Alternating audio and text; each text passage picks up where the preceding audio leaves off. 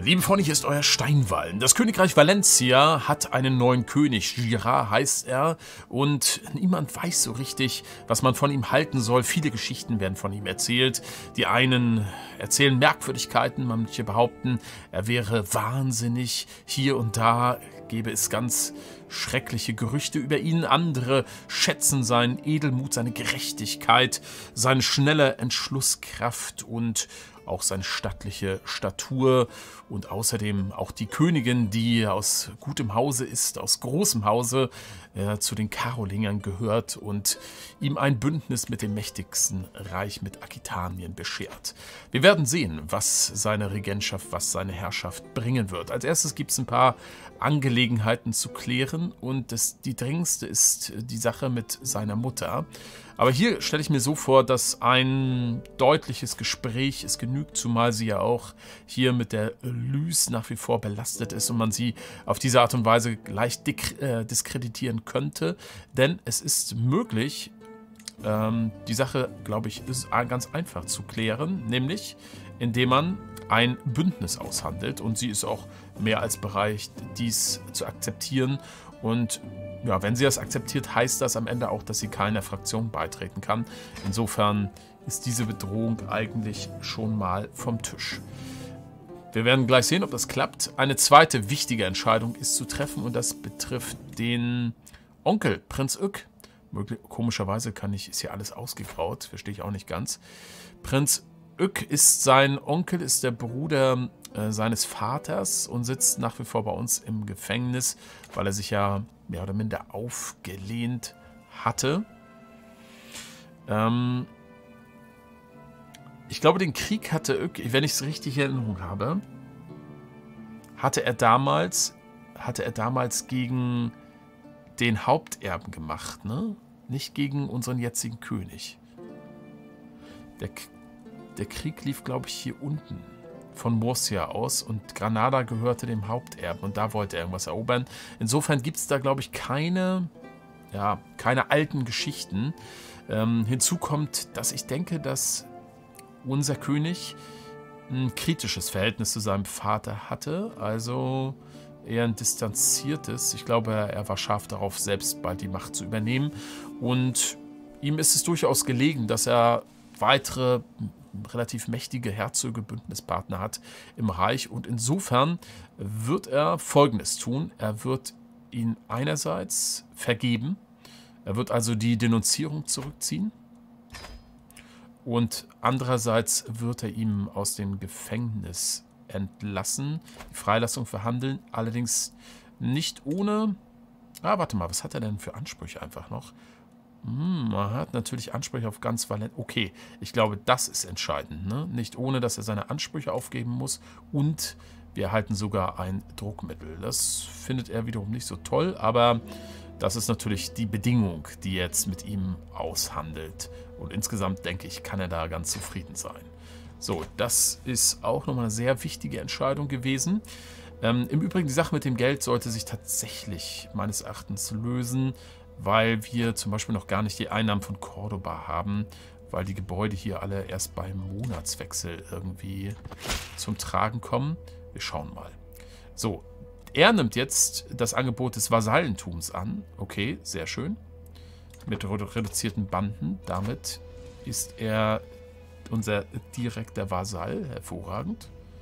Auch das eine Machtsteigerung, wobei ich glaube, das würde dann wieder aus dem Reich herausfallen, nicht wahr? Wenn er wirklich der Erbe ist. Hm.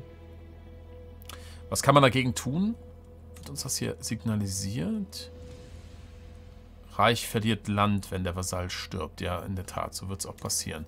Aber warte mal, hier, das werden wir mal kurz... Ne, umbenennen will ich es nicht. Das will ich kurz mal reparieren.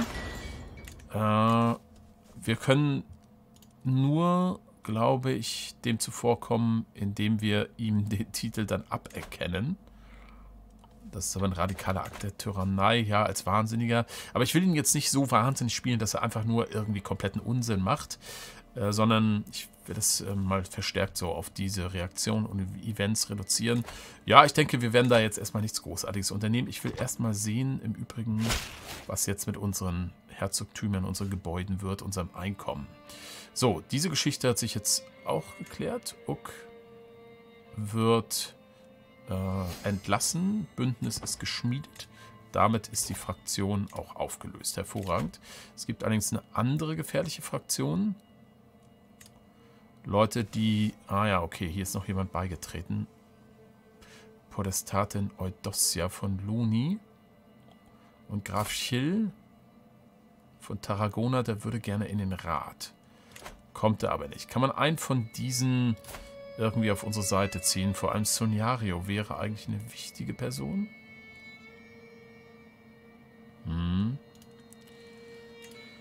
Ja, man könnte natürlich versuchen... Freundschaft. Vielleicht erstmal eine Beeinflussung. Ein Geschenk wäre auch möglich. Gäbe uns Anspannung und sehr wenig Meinung. Wir werden mal mit ihm reden. Machen wir es mal auf diese Art und Weise. Mal gucken, ob das zum Erfolg führt, weil, wobei die Fraktion wahrscheinlich vorher relevant werden wird. Aber gut. Aha, wir können, weil wir ungeduldig sind, Komplotte vorantreiben. Das finde ich gut. Das machen wir direkt mal, jetzt oder nie. Damit kriegt die Beeinflussung einen Fortschritt, der aber nicht wirklich spektakulär ist. Wir haben übrigens noch ein Hofevent. Es geht um unsere Gattin. Okay. Lukullischer Exzess. Jeden Tag scheint es, als würde man an meinem Hof nur über das nächste Festmahl reden und viele hier sind in letzter Zeit recht stattlich geworden. Alderikem Mund verschwindet? Hä? Alderik? Okay, das ist irgendwie merkwürdig.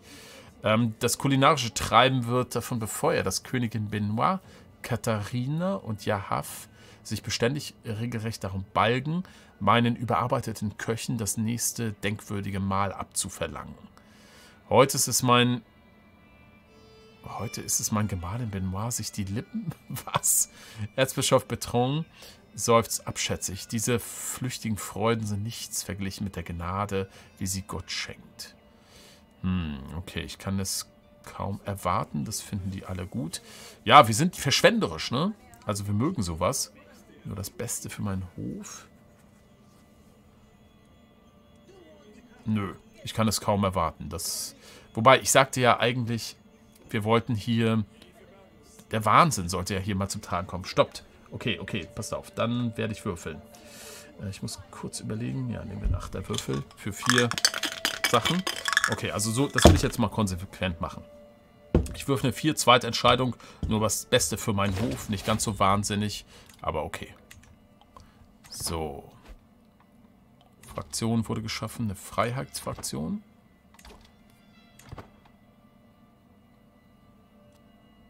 Hofhalten werden wir gleich machen. Die nächste Fraktion wurde... Ach, Prinz Eneko. Okay. Der möchte da irgendeinen anderen Typen äh, zum König machen. Interessant. So, jetzt haben wir unsere tatsächlichen Einnahmen. Und wir sehen, das sieht ja ganz solide aus.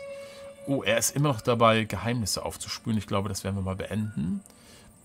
Hm, Emma hatte irgendwie eine Affäre. Ja, das ist gut zu wissen. Aber das muss jetzt nicht mehr erspitzelt werden. Wir werden Komplotte stören. Jetzt hier erstmal einstellen. Gut, nachdem wir also unsere echten Einnahmen wissen, sind wir erstmal beruhigt. Das heißt, wir brauchen eigentlich beim Hofpersonal auch nichts weiter zu tun. Ich würde sagen, als nächstes werden wir Hof halten. So, und auch hier wird jetzt der Wahnsinn aus ihm sprechen. Das kann ich schon mal versprechen. so, Bittsteller anhören. Mal gucken, wer kommt. Diesmal nur zwei Leute, ist ja enorm. Salmon wandernd und Prinz Ück. Oh, okay, alles klar. König, ich komme äh, mit der Bitte, dass ihr jene Priester aufhaltet, die das Volk von Cordoba belästigen und es dazu bringen wollen, den Katholizismus anzunehmen. Wir folgen der andalusischen Kultur und unsere Tradition unterscheidet sich von denen des valencianischen Volkes. Erlaubt es uns, die Bräuche unserer Vorfahren beizubehalten und Allah verehren zu dürfen. Sei gnädig, mein Fürst. Gut. Gerade am Hof macht sich dann der Wahnsinn, glaube ich, sehr schnell deutlich. Ich würfle und es wird eine 6. Also, der Tod erwartet euch Ungläubiger. Das findet Bertrand ganz großartig. Wir bekommen religiöser Eifer. Andere glauben minus 5. Und Schrecken und Frömmigkeit. Ja, so schnell löst man die Probleme. So, nun kommt unser Onkel. Anscheinend hat mein Onkel beim Warten auf eine Audienz eine innere Wut aufgebaut. Herr, wie Herzog Israk im Reich duldet, besonders inmitten des Adels. Gott hat seine Forderungen an uns klargemacht. Valencia sollte ein Land der Gläubigen sein, raus mit den movaleditischen Hunden. Okay, das ist der Herzog in Navarra. Mal sehen, was unser wahnsinniger Herrscher jetzt tut. Eine Eins. Ihr habt recht, Herzog Israk muss konvertieren. Gut, damit kriegen wir eine kritische Anspannung, weil wir gerecht sind. Hm. Entweder er stimmt zu, dann konvertiert er oder er lehnt ab, dann könnten wir ihn einkerkern. Okay, mal gucken, was er sagt. Er verweigert das. Das ist als Verbrechen jetzt ausgewiesen und damit ist eine Einkerkerung möglich. Äh, wir werden aber überwältigt von Anspannung und es ist die Stufe 3. Oh mein Gott. Was passiert jetzt? Ich weiß es nicht. Wir werden es gleich erleben. Fehlverhalten. Alles ist falsch.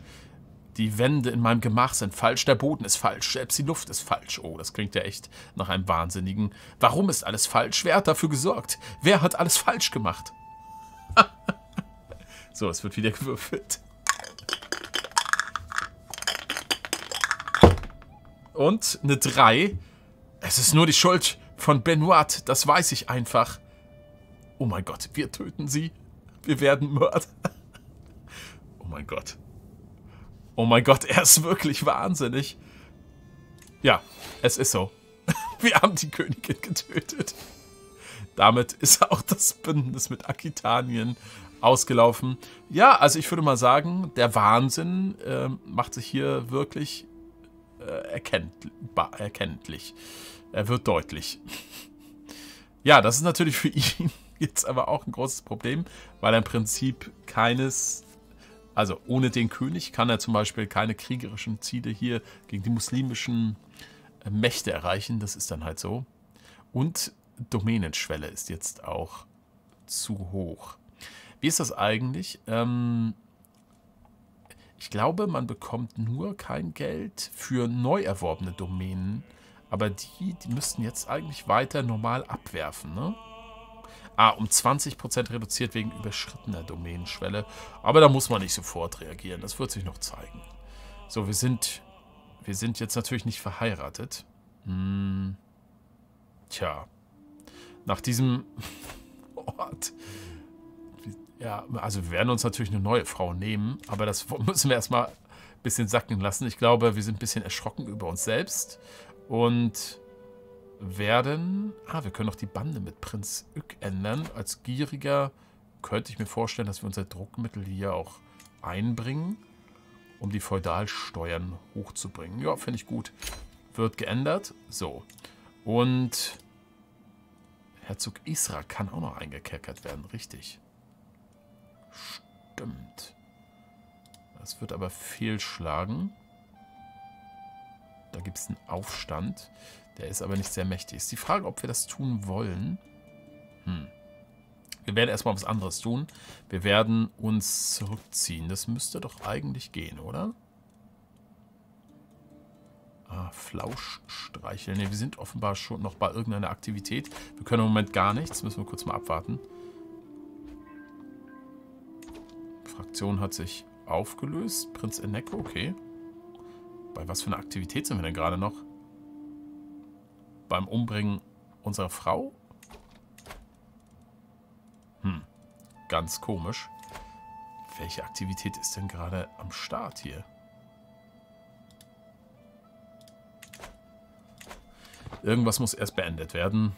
Wir können im Moment nichts tun. Ich würde gerne Flausch streicheln. Stelle ich mir richtig gut vor, so als wahnsinniger Herrscher seine Frau umbringen und dann die Katze streicheln. So, jetzt scheinen Aktivitäten beendet zu sein. Das passt. Wir könnten gleich ein exotisches Fest mal geben. Passt vielleicht auch. Trivialtitel verkaufen ist auch gut. Oh, einiges ist hier möglich. Aber wir wollen erstmal, wir wollen, wir streichen einmal Flausch. Als ich in meinem Gemach komme, schläft Flausch dort friedlich, und als ich mich neben meine Katze setze, begrüßt sie mit einem leisen, verwirrten Maunzen. Als ich dann jedoch meine Finger durch ihr orangefarbenes Fell wandern lasse, fängt sie schnell an, zufrieden zu schnurren, und das Geräusch entspannt mir Körper und Seele. Ha, danke, mein Freund. Okay, und gleichzeitig werden wir uns zurückziehen. Lebt wohl, Welt. Wir sind erstmal wieder allein. Wir finden endlich etwas Frieden. Warten wir da mal ein bisschen ab. Okay. Ansonsten habe ich gesehen, dass wir Folgendes tun können. Wir können den Markt besuchen, Gold ausgeben, um den Geist zu sammeln. Ja, das ist auch was Schönes, um sich zu beruhigen. Das machen wir auch. Füllt meine Börse. Wieder die Anspannung der Preis, den wir zahlen. Ja, sehr schön. Zwei hiervon, ein Augenblick drei. Wir verlieren Gold und weiter Anspannung. Okay. Ist es Liebe? Oh! Ich kann mich kaum noch daran erinnern, wie mein Leben war, bevor Richenda mir ihre Gefühle gestand. Ich fühle mich geschmeichelt, aber ich bin auch überwältigt von ihrer Zuneigung. Ich sehne mich nach etwas Ruhe und Frieden. Leute, die Frage könnte sich ja jetzt schon geklärt haben. Ach, die ist... Okay. Die ist die Frau des Grafen der Provence. Aha. Und doch mache ich mir Sorgen. Werfe ich da etwa meine einzige Hoffnung auf wahre Liebe fort? Das kann nicht richtig sein, oder doch? Hm. Ja, gut. Ja, ich würde sagen, der Wahnsinn, der spielt hier weiter mit. Äh, insofern werde ich auch hier würfeln, auch wenn das irgendwie nahe liegt. Da wusste ich gar nicht, dass wir verliebt sind. Warum hatte ich die Info nicht? Was ist da passiert? Wir würfeln und ich würfle eine 3. Sie hat zumindest einen Kuss verdient für ihre Hingabe. Hm. Okay, das heißt, Sie wird zwar nicht unsere Seelengefährtin, aber wir sind weiter verliebt, oder was? Die wilde Jagd. Ich reite geradeaus, als mein Pferd urplötzlich durchgeht und abseits des Weges durch die Wildnis prescht. Der Sturz ist unvermeidlich und mir bleibt die Luft weg. Als ich aufschaue, blickt mir die Fratze einer Bestie entgegen. Ehe ich auch nur schreien kann, bricht das Tier zusammen mit einem Pfeil zwischen den Augen. Girard, mein Schatz! Ich dachte, ich hätte euch verloren. Meine Heldin ist niemand anderes als Richenda und dann auch noch schwanger. Wir teilen einen Kuss süß wie Honig. Okay, Leute. Ich glaube, das müssen wir irgendwie weiterverfolgen. Hm. Hm. Interessant. Wir wollen Richenda. Das heißt, wir müssen ihn irgendwie loswerden, oder? Wie werden wir ihn am besten los? Wir könnten natürlich tyrannisch vorgehen. Wir könnten... Ja, Mord ist eine... Ist, ja, als gerechter Herrscher auch wieder schwierig. Aber wie, wie viel äh, gilt jetzt Gerechtigkeit im Zusammenhang mit Wahnsinn? Nee, aber ich glaube, in, es gibt ja auch normale Momente. Und ich glaube, da würden wir jetzt nicht sowas unternehmen. Aber vielleicht war der Kuss so süß, dass wir die Sache doch hier ein bisschen weiter treiben wollen. Er muss ja nicht Seelengefährte sein, aber wir können ja mal äh, eine Verführung starten. Ja, das passt, glaube ich. Anspannung, weil gerecht. Nur weil sie verheiratet ist? Naja, komm. So, Verführung. Bringt uns wieder in den kritischen Anspannungsbereich, oder was? Sieht so aus. Festmahl von Erzog Israk. Das ist der, den wir eigentlich verhaften können. Der sich geweigert hat. Boah. Ach, wisst ihr was? Hier kommt auch der Wahnsinn zum Tragen. Wollen wir wahnsinnigerweise dahin gehen oder lehnen wir ab? Eine 4? Nein, ich muss mich um wichtigere Dinge kümmern. Wir sind ja auch einsiedlerisch. Passt. So, was wir mit dem Typen machen, ist immer noch ein bisschen unklar. Aha, es gibt soziale Manipulation. Protestatin Eudossia äh, redet schlecht über uns. Auch hier gucken wir mal, was der König tut. Äh, ein Achterwürfel, sieben. Das heißt, wir sind hier unten. Wie könnte es wagen, den König herauszufordern? Okay, wir halten einfach nur Schrecken. Wir schnauzen sie an. Auch das kann ich mir gut vorstellen. So, passt eine der anderen Aktivitäten hier. Oh, was ist das denn? Die große Talle exotisieren. Ah, wir können den Stil verändern. Auch interessant. Eine neue Mode einführen. Oder wir werden erstmal einen Trivialtitel verkaufen. Das finde ich gar nicht schlecht. Ähm, tja, denn einsiedlerisch, verschwenderisch. Ja, einsiedlerisch ist natürlich so eine Sache, aber ich würde immer sagen, wir sind so phasenweise. Als wahnsinniger König ziehen wir uns mal äh, ab und an zurück. So ein paar Wochen lang ist da nichts von uns zu sehen. Dann kommen wir wieder und dann äh, ist alles ganz anders. Und dann, ja, zum Beispiel wird dann ein exotisches Festmahl gehalten. Das findet dann jetzt statt. Finde ich auch ganz gut. So, hier ist jemand eingetroffen mit einem Anspruch. Interessiert uns erstmal nicht. Willkommen, meine Freunde. Kollateralschaden. Ich habe es gerade so geschafft, mich zu setzen, als ich auch schon das Gebrüll... Ah, schon wieder. Es geht um das Hausbanner. Na, mal gucken, wie der Wahnsinn hier reagiert. Zwei auf dem Achterwürfel. Das heißt, Bürgermeister Bernard, wie konntet ihr? Er muss bezahlen. Die Baronin, die findet es gut, dass wir uns auf ihre Seite geschlagen haben.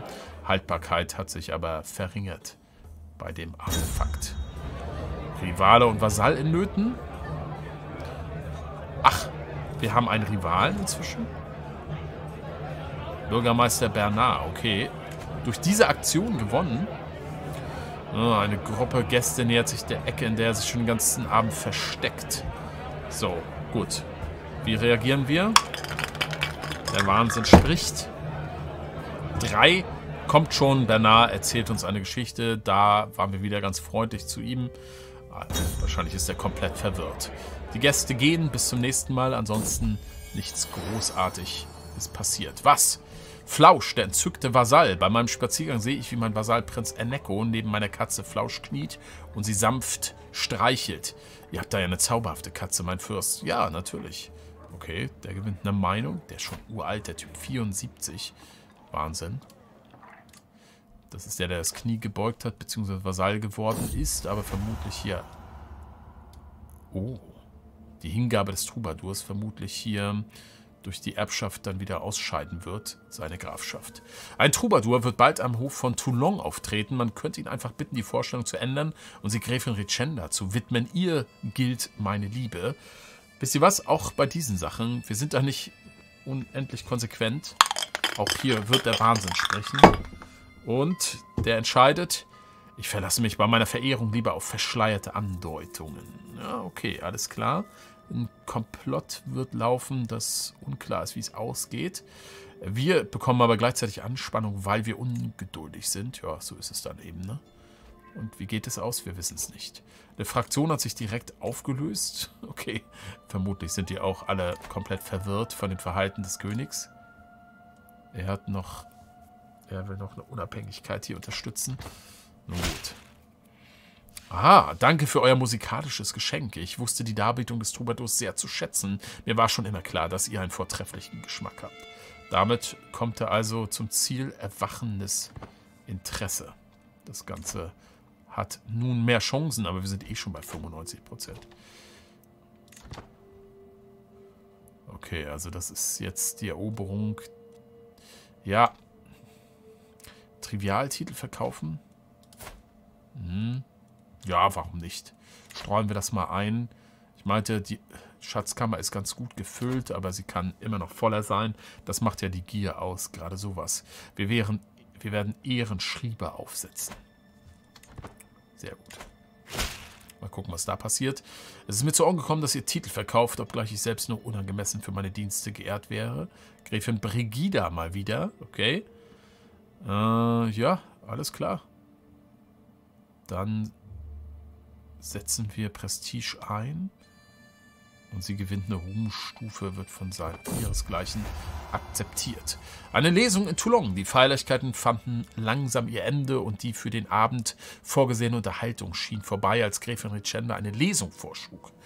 Bald schon ist ein Schreiber zur Stelle, der fragt, was die Gäste denn gerne hören würden. Und ich erkenne meine Gelegenheit, Ricenda zu beeindrucken. Auch hier wird wieder gewürfelt. Eine 5, das heißt die letzte Option. Etwas, was uns wenig Bildung beschert. Ein wenig Bildung beschert. Der perfekte Start.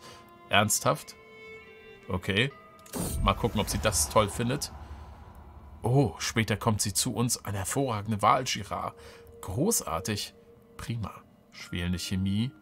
Erfolgschance steigt weiter, aber mehr als 95% kann sie eigentlich gar nicht steigen. Naja, wir werden sehen, ob wir da zum Zuge kommen.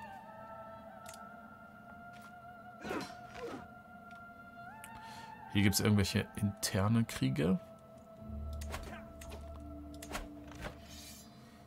Okay. Gräfin Margarida. Geht um eine Grafschaft, greift Centulo an.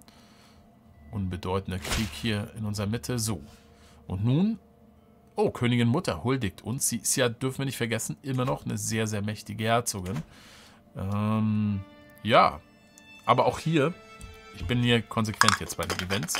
Auch hier ist die Frage, wie wir reagieren. Und eine 6, das heißt, er, er, er wehrt sie ab, er weigert ihr den Zutritt, verweigert ihr den Zutritt.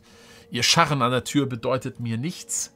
Das ist sogar ein Akt der Tyrannei aber nur ein ganz kleiner. Äh, aber da wir gerecht sind, eigentlich, führt das zu weiterer Anspannung. Und damit haben wir, sind wir wieder auf der nächsten Stufe. Und nun, unter freiem Himmel, Gräfin Richenda und ich kauern Seite an Seite, noch unbemerkt von der wilden Bestie vor uns. Meine Aufmerksamkeit hingegen gilt voll und ganz allein einer Sache, besonders in jedem Augenblick, als die Jacke von Richenda mich streift. Als ich mich umdrehe, um sie zu berühren, stelle ich fest, dass auch sie abgelenkt ist. Als das Tier schließlich im Dickicht verschwindet, ist unser nacktes Fleisch bereits von der weichen Erde umgeben und wir versinken ineinander. So, auch jetzt spricht der Wahnsinn. Die Frage ist, ist das jetzt eine dauerhafte Sache oder nicht? Das wird sich jetzt zeigen. Ich würfle eine 2 und uh, wir beide zusammen ist das Natürlichste der Welt. Okay. Ähm, diese Affäre bleibt also. Ja, okay. Damit sind wir, denke ich, an einem interessanten Punkt angekommen und werden erstmal diese Folge und auch diese Staffel beenden. Für mich ist jetzt so ein bisschen die Frage, ähm, also ich finde das grundsätzlich erstmal jetzt mit, was den Wahnsinn betrifft, glaube ich, ganz gut in, bei den Events, das so zu handhaben, weil zum ersten Mal, ich habe das immer bisher sehr viel defensiver genutzt. Zum ersten Mal habe ich wirklich das Gefühl, dass der König irgendwie wahnsinnige Dinge macht. Als Wahnsinniger. Ähm, das einzige Problem, was ich dabei habe, wenn wir jetzt aktiv was machen, zum Beispiel uns entscheiden... Oh, Alba. Mhm. Äh, wie auch immer, äh, wenn wir uns entscheiden, jetzt zum Beispiel, wollen wir vielleicht sie zu Frau nehmen, dann kommen jetzt natürlich die Eigenschaften wieder ähm, ins Spiel und aus Gerechtigkeitsgründen dürfte man das eigentlich nicht weiter so praktizieren. Ich würde sagen, ich würde sagen das bleibt so ein Zwiespalt. Äh, wir dürften, die Eigenschaften sollten nicht irgendwie gar keine Rolle mehr spielen. Ich glaube, ich bleibe mal dabei, dass das dann einfach eine heimliche Affäre, zum Beispiel in diesem Fall, wird, weil sein Gerechtigkeitssinn ihm dann doch sagt, nein, das ist nicht gut. Aber durch die Ereignisse gewinnt das dann trotzdem eine eigene Dynamik. Ich denke, ich werde so weiter verfahren. Ja, und dass er natürlich seine Frau umgebracht hat, ist ein starkes Stück. Jetzt ist die große Frage, wir werden dann natürlich eine andere Frau jetzt langsam mal finden müssen. Eine offizielle Frau. Die Affäre wird hier nun ja weiter betrieben werden, wie wir erfahren haben. Okay, für das Reich ist das natürlich alles nicht so gut. Ähm, er hat zwar relativ viele Soldaten, ist damit aber zum Beispiel lange nicht mächtig genug, um hier das Malikat anzugreifen. Oder auch dieses Malikat von Andalusien, weil die sind nämlich miteinander verbündet. Waren sie nämlich eigentlich? Oder hat sich da was geändert? Ich, ich schaue nochmal ganz kurz. Ringen. Ja, wir sehen, er hat 8000 Mann mit Verbündeten. Ähm, also in der Richtung sind uns die Hände gebunden und ein einen gerechten Krieg können wir eigentlich auch nur gegen die Muslime führen. Also ein Krieg gegen Christen ist für einen gerechten Herrscher ohne jetzt wirklich ganz konkreten Anlass, die Juregründe oder so, auch wenn er gierig ist, nicht denkbar meines Erachtens. Aber ich, ich bin mir ziemlich sicher, der König wird uns noch einige Überraschungen bieten. Wir sehen uns wieder in der nächsten Staffel. Schaut bitte in den Programmkalender, um zu erfahren, wann diese startet. Es ist ja immer noch reduziertes Programm. Bis dahin macht's gut, euer Steinwallen.